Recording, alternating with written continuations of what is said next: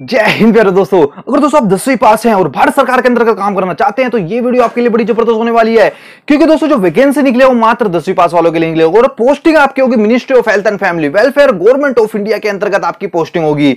तो बेसिकली दसवीं पास की जो पोस्ट है, इसमें आपको कोई भी एग्ज़ाम कंडक्ट नहीं होगा डायरेक्टली आपका इंटरव्यू चलिए शुरू करते हैं दोस्तों अपनी वीडियो को, अपने चैनल को लाइक करो सब्सक्राइब करो वीडियो को शेयर कर देना।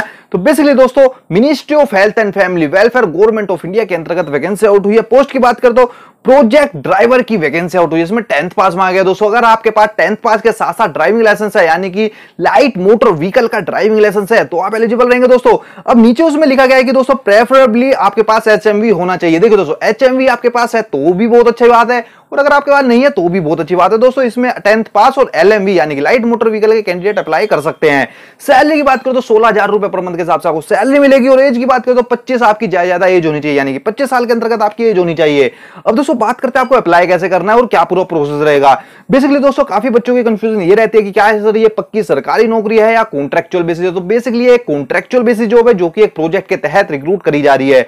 इसमें दोस्तों, ये एक्सटेंडेबल भी होता है वो डिपेंड करता है आपके काम करने के तरीके पे। इसमें जो आपकी पोस्टिंग होगी, वो होगी एनी इन तमिलनाडु यानी कि तमिलनाडु में आपकी पोस्टिंग होगी, अगर आप वहीं से या उसके नियर बाय से बिलोंग करते हैं तो ये आपके लिए एक अच्छी अपॉर्चुनिटी हो सकती है दोस्तों।